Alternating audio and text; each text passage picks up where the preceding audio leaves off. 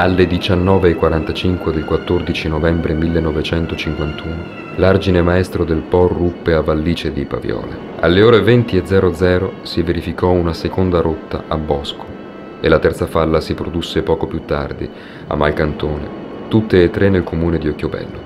In quei tre istanti ebbe inizio una catastrofe che segnò per sempre la storia del Polesine e non solo in quanto fu il primo disastro naturale italiano a diventare un evento mediatico senza precedenti. Nel giro di un anno furono girati e trasmessi oltre 100 filmati. Queste immagini fecero il giro del mondo e quell'alluvione divenne più nota del Polesine stesso. Per molti giorni questo bianco e nero fu il colore reale della terra allagata. Ha spillato l'appello della solidarietà italiana. I ragazzi pensano ai coetanei dei paesi alluvionati, le mamme ai figli di mamma. Rispondono con uguale prontezza i quartieri ricchi e le borgate povere di Roma. La prima informazione data da un cinegiornale è datata 16 novembre.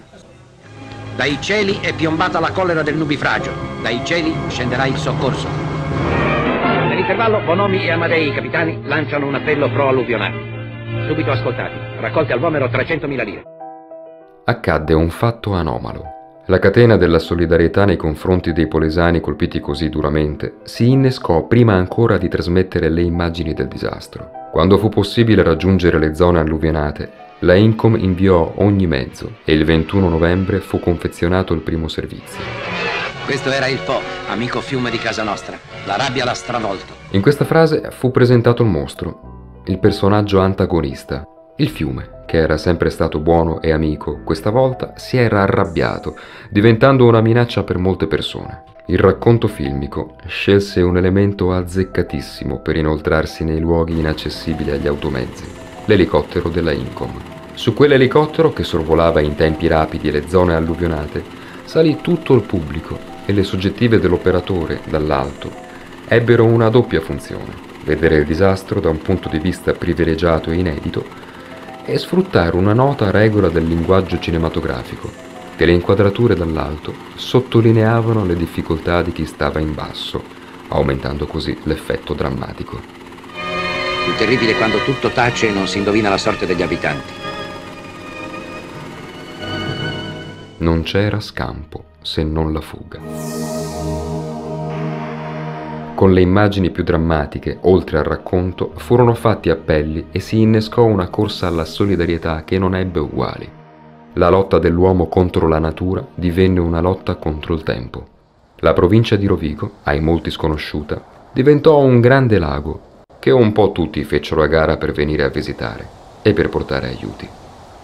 Il primo fu Alcide De Gasperi, Dopo 14 ore, dopo deviazioni e peripezie, è arrivato il treno di De Gasperi. Migliaia di mani, dopo queste, si tenderanno verso il presidente. Il mostro non ebbe pietà di nessuno. Sembrò travolgere tutto ciò che incontrava, senza fermarsi. Sul paesaggio irriconoscibile ci si orienta a malapena. Si avvertono le grida dai tetti. Ad un certo punto, nel racconto fu introdotta la pietà. Toccato l'approdo, si pensa con angoscia al domani. Decine di paesi non hanno più chiese.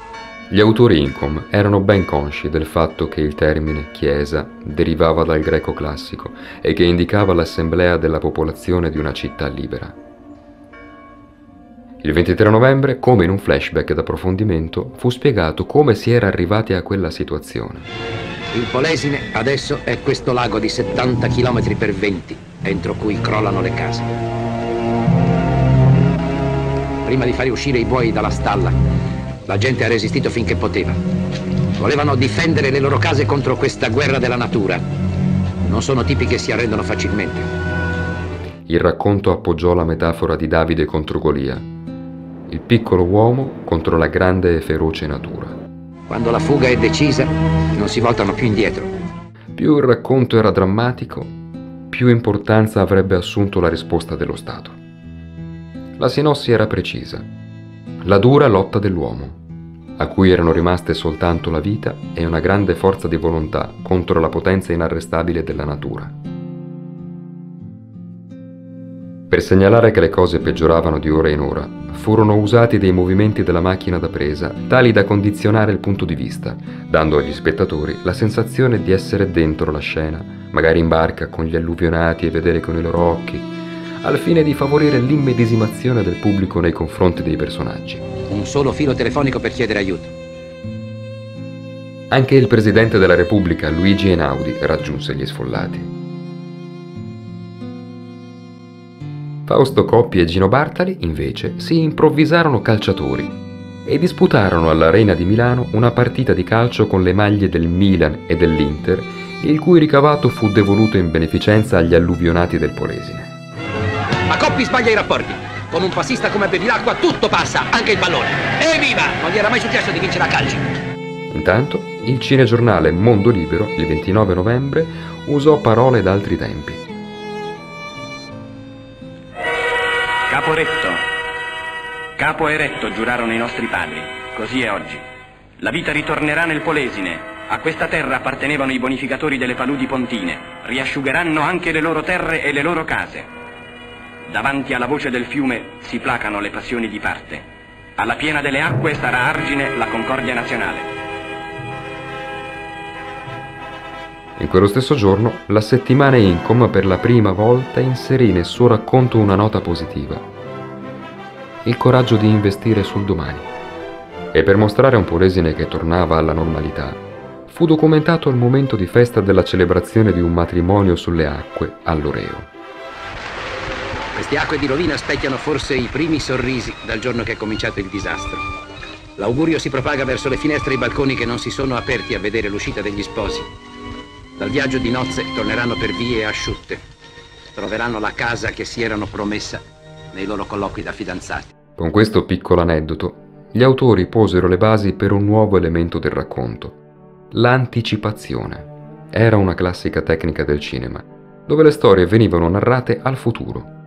Ogni cosa era rapportata a ciò che sarebbe accaduto. L'affluire degli aiuti risponde alla valanga delle acque. La narrazione era di tipo lineare, ed era giunto il momento di passare alla seconda parte narrativa, lo sviluppo. Mentre le immagini della tragedia polesana facevano il giro del mondo, in Italia si parlò del salvataggio in elicottero di una bambina bloccata a Bosaro e della partenza di Sandro Pallavicini per gli Stati Uniti d'America allo scopo di divulgare il documentario prodotto dalla Incoma dal titolo Piogge di terrore, dedicato alla sciagura del Polesine. Dopo tre settimane dal disastro, la Incoma propose gli aiuti dell'esercito nelle zone alluvionate, mentre a Roma ad Ognocchi veniva consegnato il ricavato della campagna di solidarietà.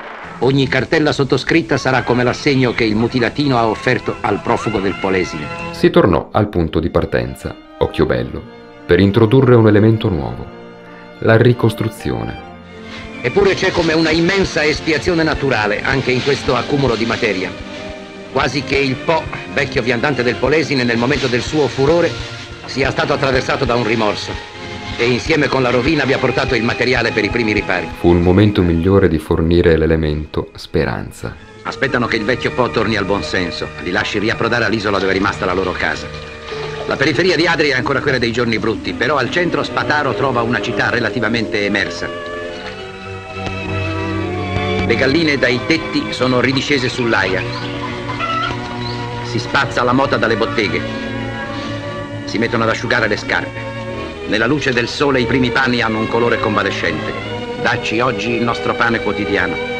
È stata udita la preghiera che non si era cessato di ripetere, intorno all'altare di una messa al campo. Una preghiera di esuli. Aiutiamoci perché Dio ci aiuti. Dalla terra fasciata di silenzio si leverà la preghiera.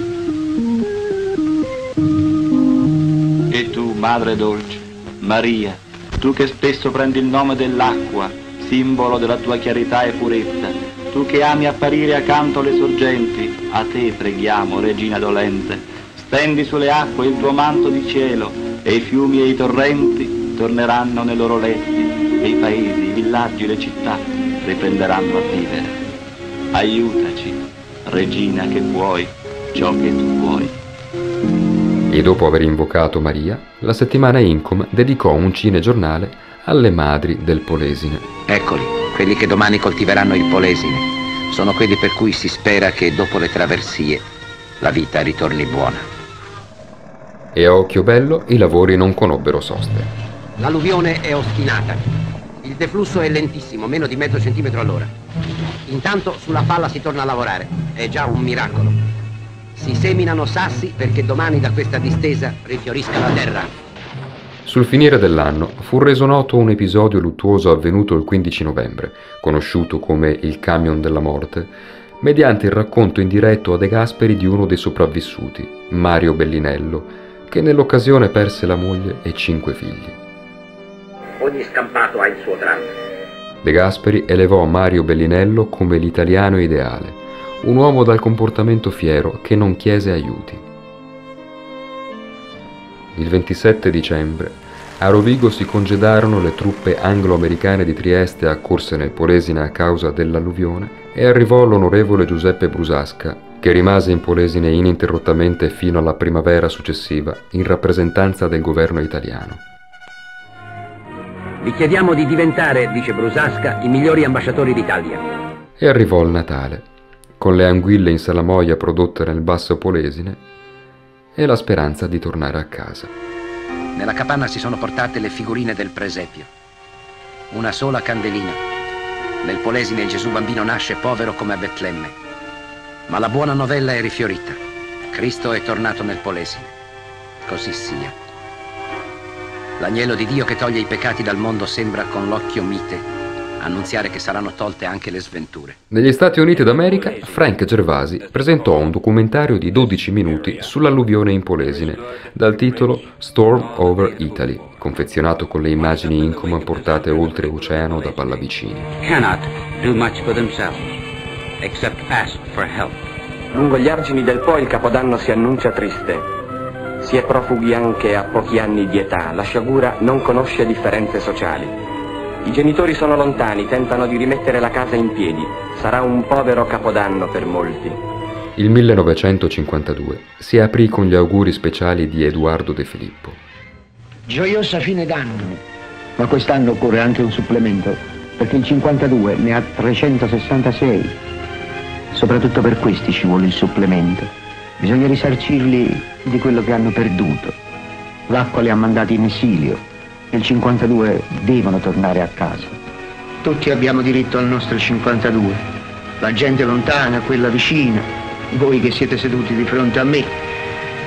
Guardiamoci negli occhi e auguriamoci buon anno.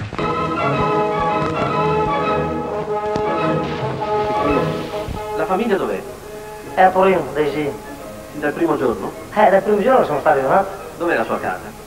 La mia casa è una è questa del mio babbo, è una è la giura. Gillo Pontecorvo documentò gli aiuti che arrivarono anche dalla Russia, ma soprattutto la vita ritornò in Polesine.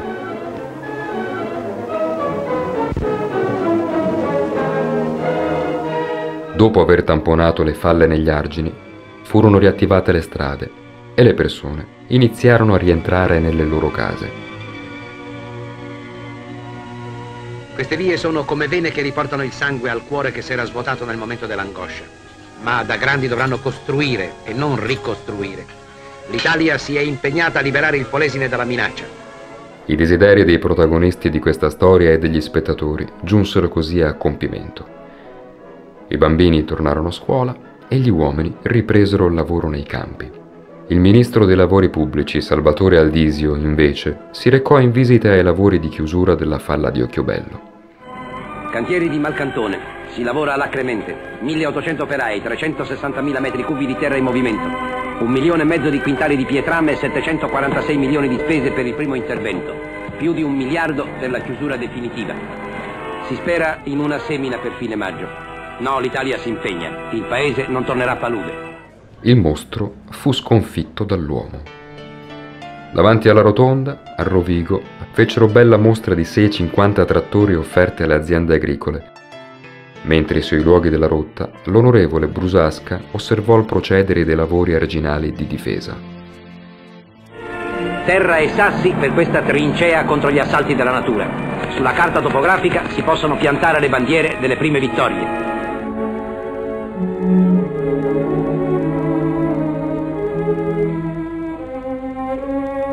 La terra senza sole sta risorgendo. Il vero fatto nuovo fu che la Incom rappresentò un elemento positivo per la rinascita del Polesine, quanto le squadre di operai e tecnici che lavorarono ai cantieri per la ricostruzione. Una violentissima mareggiata che ha mescolato ancora una volta le acque dell'Adriatico con quelle del Po ha riportato all'ordine del giorno il Polesine. Questa terra, che ha visto i suoi paesi e le sue campagne sconvolti dall'alluvione dello scorso inverno, sta lentamente riprendendo a vivere. Anche se le acque stagnano ancora per lunghe distese, gli uomini sono tornati e tentano con l'aiuto delle macchine, con volontà caparbia, di strappare il terreno metro per metro al liquido elemento. Le draghe, le gru, con i loro lunghi bracci protesi, sono sempre in movimento dalla prima luce dell'alba fino a che non scende la notte. Le falle più grosse sono state riparate. I sacchetti di sabbia si accumulano per fare argine.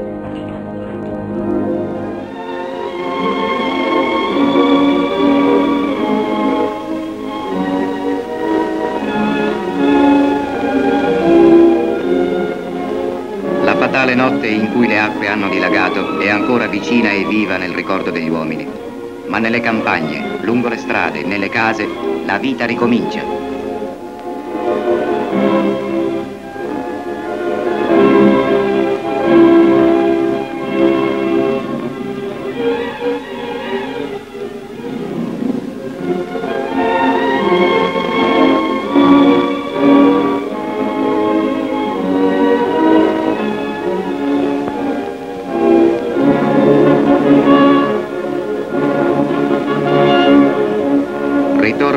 Uomini e le donne che avevano lasciato la loro terra con la disperazione nel cuore.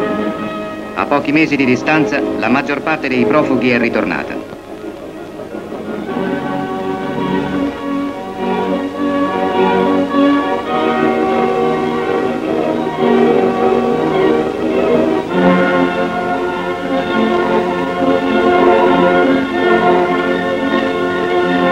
E se le case recano ancora l'umido segno dell'acqua, la terra, specie nell'Alto Polesine, è già interamente prosciugata ormai.